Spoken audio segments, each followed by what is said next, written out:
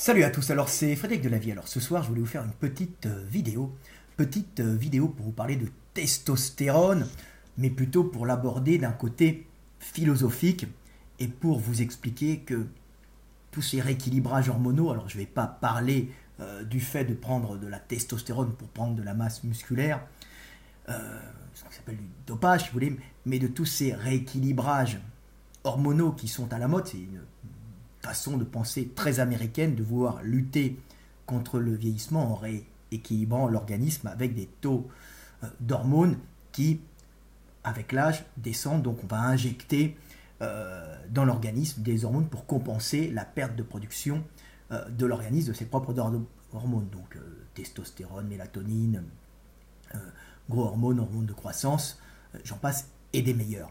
Alors évidemment, c'est une approche qui est intelligente, c'est une approche qui va permettre aux gens de se sentir mieux, mais c'est une approche qui peut être assez pernicieuse et qui peut avoir des effets sur l'individu, euh, des effets euh, psychologiques qui vont changer sa psychologie, qui vont changer sa mentalité et qui vont en faire un individu éloigné de ce qu'il aurait dû être positivement pour le groupe. Alors pas toujours, mais ça peut arriver. Alors, euh, je ne parle pas des mecs qui se chargent pour essayer de rester jeunes et pour baiser des minettes, mais des gens qui veulent, à la rigueur, limiter euh, leur, euh, leur dégénérescence. Alors pour ça, j'ai quand même expliqué que la testostérone, bien sûr, donne de l'énergie à l'homme. C'est un peu le propre de l'homme. Hein. Un homme plein de testo est un homme qui va à la conquête du monde, un homme qui a le désir de conquérir les femmes, qui a le désir de conquérir le monde pour en rapporter l'énergie rapporter l'énergie aux femmes et qui lui procure en même temps cette hormone une masse musculaire importante qui permet à son véhicule humain, à son organisme d'aller à la conquête du monde et ne pas être un, ne pas être un organisme euh, chétif qui ne pourra pas affronter le monde pour, pour récupérer l'énergie. Tout est énergétique. Mais, paradoxalement, la testostérone, si elle permet ben, d'augmenter ce désir d'aller à l'action, euh, peut avoir des problèmes dans le fait que l'homme va agir et va agir sans réfléchir. Alors, dans les sociétés traditionnelles, il y avait les vieux sages et les vieux sages étaient sages parce qu'ils avaient d'abord expérimenté le monde, euh, vécu leur vie d'homme, donc d'enfants, d'adolescents, de jeunes adultes pleins d'énergie, voulant bouffer le monde, hein. euh, ce que Nietzsche appelle la volonté de puissance, ce besoin de conquête, qui est en réalité une programmation génétique, une programmation biologique qui permet à l'homme ben, d'aller à la conquête du monde pour en récupérer l'énergie, pour s'imposer parmi les organismes et pour rapporter cette énergie à la femme qui par sa matrice continuera le monde, continuera le monde en s'unissant à l'homme qui lui rapporte l'énergie.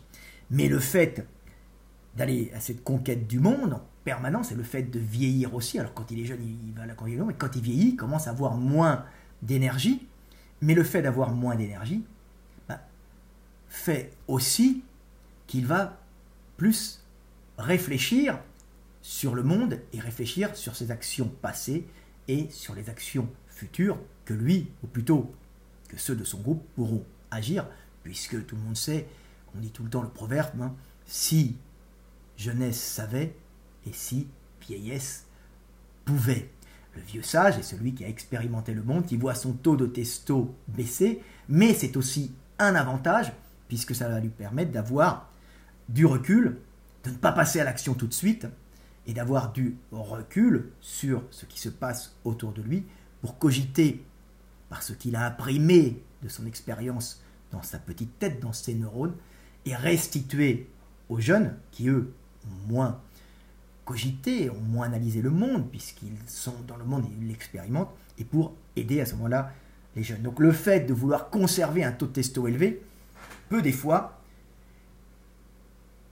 maintenir l'homme vieillissant dans l'action, en lui enlevant en fin de compte cette possibilité de réflexion. Donc, on voit souvent des, des, hommes d'affaires américains qui se prennent de des hormones, qui essayent de se maintenir. Alors, ça a des avantages, mais ça aussi des inconvénients, le fait de moins réfléchir et de plus agir. Ce qui peut être un avantage, mais ce qui peut être aussi un inconvénient. Et on est en train, en faisant des hommes qui se supplémentent en hormones, ben, on fait des espèces de euh, vieux adolescents qui vont avoir des espèces de lubies et de passions euh, d'adolescents, mais dans un corps vieillissant, sans acquérir cette sagesse qu'ils auraient pu transmettre aux autres. Donc, vous voyez, c'est à double tranchant le fait de se supplémenter en hormones. Est-ce qu'il ne serait pas mieux de laisser son corps doucement vieillir pour passer par cette étape fondamentale de la baisse hormonale qui implique en même temps une meilleure réflexion et un meilleur recul sur le monde en enlevant cette action immédiate, ce besoin de bouger donné par les hormones et principalement par la testostérone. Parle essentiellement de testostérone, pas des hormones comme la mélatonine qui permettent de bien récupérer quand on dort, qui baissent avec l'âge, alors pas forcément pour tout le monde, c'est une question de génétique, hein. il y a des gens qui vivent 100 ans et qui même arrivent à 100 ans relativement en forme, et puis il y en a d'autres qui meurent à 50, voire 70 ans. Euh, tout le monde n'est pas euh, logé à la même enseigne, c'est une question de chance. Euh, le chance, la chance d'avoir eu des bons parents, puis aussi d'avoir vécu une vie qui vous aura peut-être préservé, ouvert l'esprit. Alors je vais vous lire deux petits textes là-dessus, deux petits textes qui j'espère vous feront réfléchir sur ce sujet. Le premier s'appelle le mécanisme du vieux sage. L'homme doit, tout au cours de sa vie, continuer à apprendre des choses nouvelles et se remémorer les anciennes afin de consolider son savoir. Mais plus il avance en âge, plus son cerveau se remplit d'informations et plus il lui est difficile d'en mémoriser de nouvelles. Mais paradoxalement, s'il lui devient difficile d'acquérir de l'information nouvelle, sa capacité d'analyse analogique augmente avec l'âge grâce aux connexions neuronales que le cerveau génère entre les données mémorisées. Ainsi, si l'homme âgé mémorise moins vite, il analyse beaucoup mieux que le genou capable de se gaver frénétiquement d'informations. Si rigide que soit l'homme âgé et si hermétique à la nouveauté puisse-t-il paraître, le peu d'informations qu'il absorbe est optimisé et lui permet de trouver les réponses que la jeunesse cherche encore dans sa quête incessante d'information. Alors il y a beaucoup de jeunes qui trouvent aussi, hein, mais le fait de passer à l'action enlève quand même de la réflexion. Alors évidemment, un vieux con, c'est un vieux con. S'il est déjà con quand il est jeune, il ne va pas forcément euh, s'améliorer, surtout s'il ne revient pas sur ce qu'il était, s'il n'essaye pas de s'analyser hein, et d'essayer de voir où sont ses faiblesses et où sont ses forces. Il faut avoir une certaine objectivité sur soi, avoir une capacité de recul pour pouvoir progresser et devenir un vieux sage. Autrement, on devient un vieux con qui envie les jeunes d'être jeunes et qui essaye de rester jeune alors qu'il ne l'est plus. Hein. ce qui est euh, ridicule. Donc, je vais vous lire un autre texte, texte issu de ce merveilleux ouvrage qui s'appelle L'éveil des consciences qu'on est en train de refaire et qu'on va rééditer avec plus de 200 pages, hein, de plus, de 250 je crois, qui va vous parler de testostérone, petit texte simple, mais qui j'espère vous fera comprendre les choses. Alors ce petit texte s'appelle Testostérone et réussite. Un taux de testostérone élevé rend l'homme plus impulsif, plus réactif au milieu. Paradoxalement, il lui enlève, à forte dose, ses capacités d'analyse logique, le poussant plus à l'action instinctive dans la quête énergétique et la recherche, la recherche reproductive qu'à la réflexion logique face au monde et ses dangers. Un taux de testostérone élevé pousse donc l'homme à l'action et même si l'échec ou la mort peuvent être au rendez-vous, il n'en demeure pas moins que celui qui agit est le seul à pouvoir réussir ce qu'il entreprend.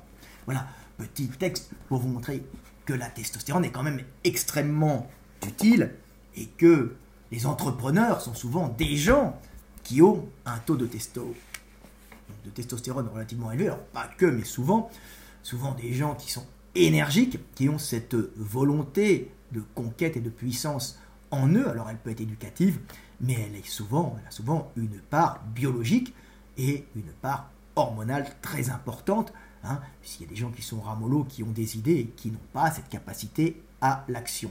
Alors cette capacité à l'action, quand l'homme a un cerveau bien conformé, une bonne éducation, quand cette capacité à l'action donnée par la testostérone, quand il a un cerveau bien conformé, il est bien éduqué, peut être extrêmement efficace pour réussir ce qu'il entreprend, puisqu'il va entreprendre. Et comme il peut en plus réfléchir, il a été bien éduqué, bah, les actions qu'il entreprend vont marcher. Et donc il va réussir ce qu'il entreprend. Ce qu'on appelle la réussite, qui ne veut pas dire être heureux. Mais bien sûr, s'il a un taux de testo bas, et s'il n'a pas cette volonté, même s'il pense juste et correctement, bah, comme il n'aura pas cette, cette, envie, ce désir, cette force qui le pousse à l'action, bah, il n'entreprendra rien, il ne réussira rien, même si son esprit était capable de grandes analyses. Donc c'est toujours un juste milieu. Avoir un bon taux de testo pour agir quand on est un homme, hein, pour passer à l'action, et aussi avoir une capacité de réflexion donnée par la génétique, mais aussi par l'éducation et par votre chemin de vie qui vous aura permis d'apprendre des choses utiles. Voilà ce que je voulais dire sur la testostérone. C'est pour ça que le risque de faire des TRT, euh, comme ils appellent ça, hein, des euh, rééquilibrages hormonaux, alors je crois que j'en discuté avec Gandil, ça avait commencé dans les années 90, hein, cette histoire de rééquilibrage hormonal. Hein. donc on met, euh, on rééquilibre en fonction de ce qu'était euh, normalement un jeune, bon, ça varie, tout ça. Ça peut être très bien en limitant le vieillissement, en pouvant limiter le vieillissement, mais ça peut changer profondément la psychologie de l'individu ben, en le rendant un peu con, c'est-à-dire que même si il a une capacité d'analyse, bah, il passera plus vite à l'action sans réfléchir parce que son taux de testostérone, son taux d'hormone, pas l'hormone de croissance mais la testo, bah, le poussera à l'action. Il n'y a rien de plus stupide de voir un homme passant la cinquantaine, prenant, bah, se faisant des rééquilibrages hormonaux ou plus, se comporter euh, comme un vieil adolescent en matant le cul de toutes les nanas qui passent et en voulant leur sauter dessus en, essayant de faire le vieux beau, quoi, le, vieux jeune, c'est complètement stupide et ça ne va pas avec le rôle qu'il doit avoir dans la vie. C'est aussi pour ça que beaucoup d'hommes très riches en Amérique qui se font des TRT, des, des, équipages hormonaux, on en rigolait avec Gundil, bah, ils vont avoir aussi des divorces parce que le fait de se rééquilibrer hormonalement fait que tous les culs qui vont passer à leur portée, ils vont les trouver beaux, puisque bien sûr, quand tu as de la testostérone, le niveau de laideur d'une euh, femme euh, augmente, si vous voulez, baisse, euh, baisse, et vous allez trouver toutes les femmes belles. Hein. Il y a des proverbes qui disaient, des anciens proverbes qui disaient, il n'y a pas, les proverbes allemands de femmes laides, ça manque de bière, ou russe, il n'y a pas de femmes laides, ça manque de vodka. Ben, ça va être la même chose, il n'y a pas de femmes laides, ça manque de testo. Et avec la testo, vous allez vouloir sauter tous les culs qui passent, mais le problème, c'est que ça peut briser des familles, rendre l'individu instable par sa capacité d'aller à l'action et son manque de réflexion. Donc, vaut mieux pas être trop con pour en prendre, autrement vous, allez accentuer gravement votre état de bêtise, hein, et ça n'augure rien de bon. Donc il faut déjà être quelqu'un de stable, d'équilibré, avec une famille, quelqu'un de relativement intelligent, ayant du recul sur son existence, pour pouvoir faire des rééquilibrages hormonaux en évitant de voir complètement changer son état d'esprit et devenir un autre homme. Voilà, petite vidéo pour vous mettre en garde euh, contre ces choses-là. Moi personnellement, je préfère vieillir doucement, car le fait d'être moins impulsif euh, me permet de mieux réfléchir au monde et de mieux l'analyser. Et ça, c'est vraiment dû à la baisse hormonale qu'un homme de 50 ans, comme je suis, euh, a. Et je m'aperçois que vieillir, bah, évidemment, la mort se rapproche et l'angoisse euh, du néant et de la finitude bah, arrive. Ce n'est pas quelque chose de lointain, c'est quelque chose qui se rapproche, je commence à voir. Mais d'un autre côté, ma sagesse augmente et ma capacité d'analyse augmente. Alors heureusement, je ne suis pas euh, grabataire, je suis justement dans cette transition où j'ai encore la force et moins d'impulsion qui me permet d'être bien plus éveillé et bien plus ouvert au monde, ce qui est à peu près la phase optimum qui va durer, si Dieu le veut, une dizaine d'années, avant de doucement, euh, cette fenêtre de, lucidité et de force qui se maintiennent quand même, avant de progressivement peut-être se euh, rétrécir. Voilà, pour finir par progressivement ben, me dégrader, je pas mourir demain aussi, mais me dégrader pour mourir et laisser la place aux plus jeunes qui, je l'espère, reprendront le flambeau et permettront à notre humanité de perdurer. Donc, c'est aussi l'avantage de ne pas prendre de, en tout cas, de testo, testostérone. En plus, la testostérone a beaucoup de désavantages. Hein. Alors, surtout à forte dose, hein. les gars font des problèmes cardiaques puisque ça change euh, la, vitesse de, de, réplication, de, la vitesse de prolifération des fibres de collagène. Et si vous paraissez plus jeune avec de la testo et plus en forme, vous récupérez plus vite.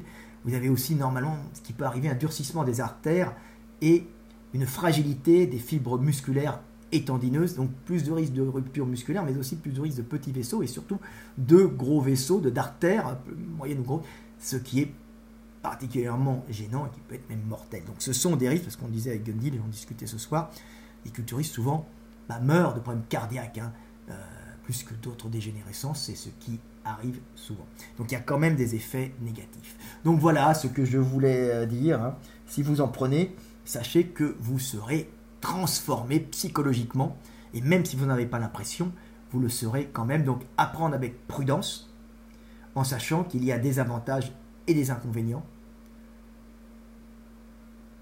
Et que vieillir normalement procure aussi, même s'il y a beaucoup d'inconvénients, quelques grands avantages, qui est au moins celui de la réflexion des passionnés qui apporte énormément à l'humanité. Car les vieux sages sont des anciens jeunes